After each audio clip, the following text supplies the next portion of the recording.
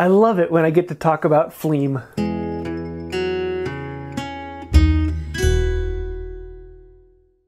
Hey y'all, I'm James Wright, and welcome to my shop we are talking about saw sharpening again today. Uh, last time we went over sharpen, sharpening a rip saw, and today we're going to be focusing on a crosscut saw. Now, if you don't know the difference between a rip saw and a crosscut saw, I have a video on that where I go and show the specifics. But basically, a rip saw is like a whole bunch of chisels taking a gouge out of the wood, whereas a crosscut saw is like a knife that slices the wood. So we're going to be making a whole bunch of little knife edges with the exact same file and same setup that we had for the rip saw, but it's going to get a little bit more technical because we're going to be talking about fleam and some of the other angles that make a crosscut saw um, far more effective for slicing the grain as opposed to gouging it out like a chisel. Now, before I get into this in depth, I'm going to put out a bit of a warning here. Now, every saw sharpening guru you talk to is going to tell you their specific way of doing it. And every other everyone you talk to is going to be doing it a slightly different way. Uh, so take everything I say with a grain of salt and take everything you hear from every other saw sharpening video with a grain of salt. I'm going to tell you the ways that I've found that work very well for me. And you may find that someone else says, hey, no, no, this is the right way. Just keep in mind, there is no right or wrong way. There's only sharpening a saw. And if the saw cuts wood, it's right. so you really can't go wrong. And on that same thought, a lot of people I've heard are, are worried about sharpening, sharpening a saw, a saw. What if I mess it up? What if I, what if I destroy the saw? And I have to tell you, uh, if you are going to sharpen your very first saw, I can promise you that it'll be sharper when you're done than when you start. Uh, you really can't mess it up. And the only way to learn is to jump in and do it. And you're going to make some mistakes along the way, but the saw will still work. The saw will still be a functioning saw, saw and it will still be sharper than it was before you started. So that being said, you know, if you're really worried about it and you want to practice, uh, go pick up a cheap $5 handsaw at some antique store and go to town on it. And you will see that it isn't that hard once you jump into it.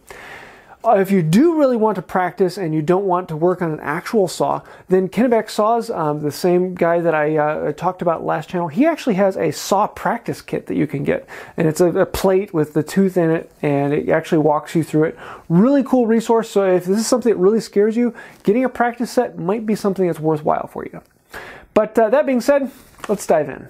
Now this is an 8 ppi crosscut saw and I really like this. It is it's long enough that you could probably call it a handsaw as opposed to a panel saw. This is when I want to hack through some material but I want to leave a clean surface. 8 ppi, the teeth are small enough that they're going to leave a clean surface, but yet aggressive, aggressive enough you can cut through some larger material. Now to show the difference between a crosscut teeth and a ripsaw tooth is the ripsaw is basically like a whole bunch of chisels in a row like this. And as the chisels merge through the wood, they're basically like tiny little planes taking off tiny little curls of wood. at least in theory, that's what it should be doing. Whereas a crosscut saw is like a bunch of knives, and on each side there are knives that are sliding through the wood, and they're slicing it in two different paths. And each of those slices is going to cut through the fibers of the wood. So if you're going across the grain, the knife will cut through it far easier. Whereas if you're going with the grain, the chisel will actually peel out along the grain much easier. So we're going to wanting to create these knife blades. And every other tooth is going to have a flat spot on the outside and then the other one will have a flat spot on the opposite side. So every other tooth, it'll be filed opposite, so the bevel will be on the inside of each tooth. The other thing is that there will be set in the saw, and the set is basically angling the tooth out. So on the, the tooth that has the flat side on this side of the board will be angling away, and the tooth that has a flat side on the other side of the board will be angling the opposite direction. And that way, they will basically be cutting a slightly wider groove through the wood than the thickness of the plate, so the plate doesn't bind up as much. So now let's talk about the set in the teeth. So that's basically how far do the teeth stick out past the plate. And you do that with a set. You can also do that with a hammer and an anvil and you slowly go down each one and you tap each one. Um, I don't like to do that. This tends to be a little bit more standard and until it's something you really want to get into, um, just getting a good saw set will do for you. All of mine are antiques that I picked up at uh, the Midwest Tool Collectors meets. Um, I think I paid like a buck or two bucks a piece. And a lot of these older ones have uh, far more adjustments that will allow you to do different sized teeth. Uh, this is my go-to one. It's an old Stanley, um, and it will allow me to do everything from most of my small dovetails up to my largest uh, frame saws. Most of the newer ones now will either come to a range and they'll do from like a 10 TPI um, and smaller, and then 10 TPI and larger. And so you're going to end up with two of these if you're wanting to get to, into um, different broader ranges. But some of these older ones, uh, the hammer on the inside is small enough, yet strong enough that it will fit on the small teeth, but yet be strong enough to bend the, uh, the larger teeth. Now I'm going to be getting into how to sharpen this in the future. Uh, I just now want to bring this up because a lot of people really like to set the teeth before sharpening it. I really don't. I like to set the teeth after sharpening it. So that's what I'm going to be doing here. Uh, I'm not going to be setting these teeth until I'm done with the actual sharpening stage. Uh, play with it, see if it's something you like. You might like to actually come through and set the teeth first and then sharpen it. Um, but for me, I like to set them afterwards. So with a crosscut saw, just like with a rip saw, the first thing we want to do is grab our file and run this all the way along there and flatten them all out, bring them all to the same height. And I'm again, I'm looking at all these points and I'm seeing if there are any dull edges and any sharp edges. And I'm seeing about half of these I've hit and about half of them I need to go again. So this one I'm probably gonna have to run this a few times on. Okay, so this one needed a lot of work. It was a good ways out of whack, but now I have a shiny spot on the top of every tooth. If you want to see what I'm talking about, I showed the shiny spot on the top of the tooth in the last video. Okay, so now it's time to start talking about fleam and rake. And we need to actually figure out what we what do we want to do for this saw. Now the easiest thing to do is if I if I trust the last person who sharpened this, I can put the file in there and just put my finger down and I know that I'm about this fleam and about this rake. So I can actually then come in and rotate this to be flat and then I can rotate this to be parallel and I can see that the last time someone did this they were right around a 20 degree fleam and then around a 5 degree rake. Now since I was the last person to sharpen this um, I know that's about what I like um, about a 5 degree rolling forward and then about 20 degrees of fleam, so turning it this way. Some people will tell you you should have like 30 degrees, 35 degrees, or only 10 degrees. Um, often the hybrid saw that has a little bit of fleam in a uh, rip pattern will have about 10 degrees or like 8 degrees of, of uh, fleam. Um, so you kind of got to play with it back and forth. The other question is about slope. When you angle it down this way or back this way, a lot of people are going to swear about it that you have to have slope um, a certain amount one way or the other. And in all honesty, I, I don't feel that much difference with slope about putting a little bit in, so I don't. I keep the flat the file flat. Uh, I don't angle it down one way or the other. Um, you may find after doing a few saw, saws you want to experiment with it, add a little bit of slope and see what it does. Great, go for it. Uh, personally, I don't like it. Um, I just like a little bit of fleam and a little bit of rake, and that's my personality. So for a saw about this size, um, I'm going to have about I'm going to have about 20 degrees of fleam and then about uh, 5 degrees of rake forward. And that's, that's really where I like it right there. On my really big frame saw, um, I'll actually have zero rake, uh, so it'll be the, the top of the file will be perfectly flat, um, and then I'll put in about 30 degrees of fleam, so that there's a very, very sharp knife edge on these, and that's so I can I can munch through the material very quickly. Um, but for like a, a, fine carcass saw, I might only put in like 15 degrees of fleam, um, and then I'll have a little bit heavier rake, so I might go to like 7, 8, maybe 10 degrees of rake, um, somewhere around that range. But that's my personal choice. Um, everyone's to be a little different. Experiment with it. Find out what you like. So the next thing we need to do is grab our file now that we've set it up with the fleam and rake. And I like to start the heel and go to the toe. Some people like to start the toe and go to the heel. Um, find what you like, but we're to do every other tooth. And it's just as simple as I want to focus on the tooth in front of the file. So the tooth that is forward of the file is the one I'm looking at. I'm going until I get rid of that shiny spot.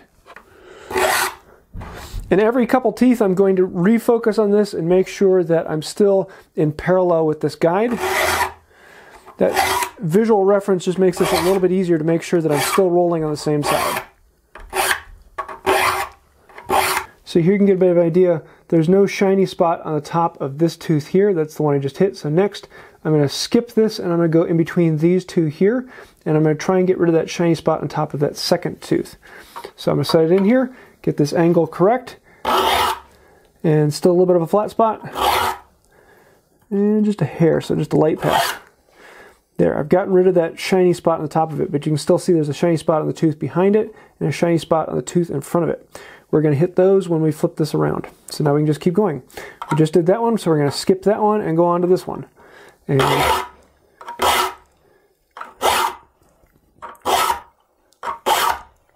keep it going. And the way I choose which side of the tooth to be on is I'm looking at the teeth and the tooth that is leaning um, I want to be leaning towards the obtuse side of this angle that I'm creating. So you can see here, this is an acute angle here, and this is an obtuse angle here.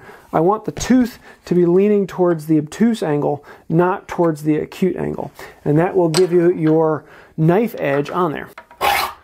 So I'm just going to continue on down this and then take you to the point where we flip it around and do the other side. Okay, now we've gotten to the point where some people really get confused. I've filed everything from one side going this way at a certain fleam and a certain rake. Now I want to turn the saw around. Now I could open this up, turn the saw around, but one of the things I love about this vise system is it's really easy to turn the saw around. Just grab the saw, turn it around, and you're good to go. You're also still working on the same side and you keep, keep going. So on the other side, it was like this. And so it's raked forward, and then we're matching the angle here. But when I want to turn it around and file on this side, then I actually want it to be back here. So I want to rotate this. So it was at 20 degrees one way. I'm just going to move it over to 20 degrees the other way. Lock that down. So now I have the fleam set correctly. Now I want to set the rake. And on the rake, you got this back here, and it's the exact same thing. I head it 10 degrees one way. I'm just going to roll, roll it 10 degrees the opposite direction. Clock that back down and we're ready to go. And so I now am all ready for the rake and the fleam are all set to go. I just have to remember, rather than having the handle away from me, I'm going to have the handle toward me. And so now the tooth that is leaning towards me is going to be on this obtuse side, not this acute side like it was before. So that's the hardest thing to think about is that the handle, rather than being this way, is going to have to turn this way. So the only thing you have to think about is switch this from one side over to the other, and then switch this from one side over to the other, and you're ready to go. Don't think about the angles, don't think about how it has to go. Just change this from one side to the other and change this from one side to the other, set it back in there, and you're ready to go. So now it's all turned around, our jig is set up. We can then start from the heel and work to the toe just like we did before. Just set it in, and we're going to be then looking at number one, keeping this parallel with the saw. Number two, keeping this flat, so we don't want to tip it this way or this way. We want to keep it flat and parallel with the saw just visually and hit every other tooth that we missed before. This time, rather than focusing at the tooth in front of the blade, in other words, the tooth away from me, I actually want to be focusing on the tooth in front of the file, which is now going towards me. So it's just one more thing to kind of think about a little bit. Think about the tooth that is in front of the file, not the tooth that's in front of you. And that one needs a lot of work actually. And just keep going until that flat spot disappears on the tooth that you're looking at. And then we're just going to continue on until it's done. And then I can talk to you a little bit about setting the teeth. Now, if we're actually setting the teeth, every set is going to have a different angle or a different amount on there. Just remember, when you're setting the teeth, the farther you set them out, the harder it will be to cut because you're cutting a much wider groove through the wood. But the nice thing about setting the teeth really wide is you have a lot of control. You can actually turn the saw inside the cut and follow the line. So when you're starting out, you may want to trade some of that efficiency and get a really heavy set, giving you far more control in your hand about being where it is actually going in the cut. Um, but once you get into it and you start to run a saw and your hand knows how to run a saw really nicely, just having a tiny little bit of set is all you need to keep the saw from bending and it will cut far smoother and far cleaner. The less set you put on it, the easier it is to push in the wood and also the smoother the surface will be. That's why with like a flush cut saw or Japanese saw that has almost no set or no set at all, you're going to really get a really nice smooth surface on it. So in each saw set, you're going to have an anvil, and a hammer, and the hammer will push against the anvil and just bend the tooth over a little bit. You'll have a setting that will either move the anvil or the hammer to push the tooth farther to one side or the other. Most of the time, the size issues on the saw sets are due to the hammer either being too fat for the smaller teeth or it being too weak um, to do the larger teeth.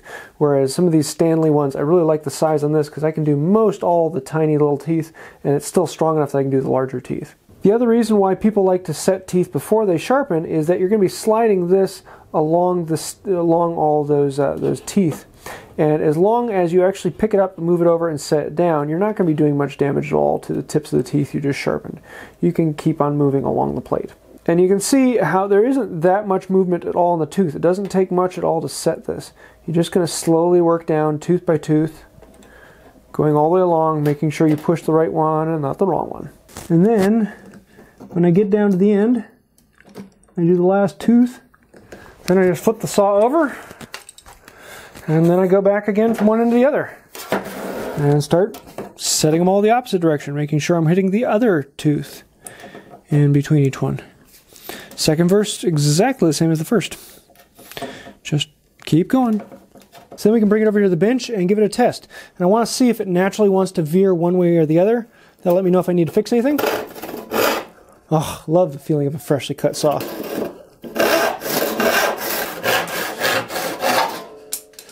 Like butter. Let's see what that grain looks like. Yeah, that's pretty good. I'll take it. So there we go. Freshly uh, sharpened saw. If it does veer one way or the other, um, I talked about last time on how to stone it. Just running down the side that it is veering towards um, will bring those back into true. So that's about it. That's how you sharpen a crosscut saw. Now again, I could spend an entire lifetime learning how to sharpen a saw and become more proficient at it and more specific. And the more time you spend on it, the more you want to become a perfectionist about it. And that's completely a thing to do. But the way I'm kind of showing right now is uh, you know, the person picks up their first saw and it's dull. How do you actually get the saw sharp and fun functioning fairly well with the least amount of effort? This is a, a fairly quick overview on how to sharpen a saw before going into all of the tiny little specifics, because some people even come back through with a set of diamond files and refine each of those teeth and make them absolutely perfect. Uh, but that's kind of polishing the turd because, you know, at a certain point you're going to get a diminishing amount of returns, and after using it two or three times, is really diamond uh, diamond plating every one of those teeth going to make much difference? Mm, maybe, maybe not. So my admonition to you is experiment. Play with the uh, play with the files. See if you want to change the angle. What angles do you prefer? Do you have a particular angular for a different type of saw or a particular type of use? Um, you never know until you give it a try. So uh, sharpening saws is a great way to experiment and play around with it because there is no right or wrong. There is only not sharpening it, and that's just not the hand tool way. So I hope you enjoyed this. There are a lot of other things I could have talked about, and who knows, maybe I'll do another video in the future um, touching on some more specifics. And if you have any questions, feel free to let me know in the comments below. I'd love to answer those. And that's about it for today. I do want to say thank you to the patrons on Patreon. You guys are the reason why I can keep putting out these videos and uh, providing this content. If you'd like to help out with that, you can find a link to Patreon somewhere down there. also, feel free to subscribe or uh, see my behind the scenes videos on my second channel. That's about it for today. Until next time, have a wonderful day.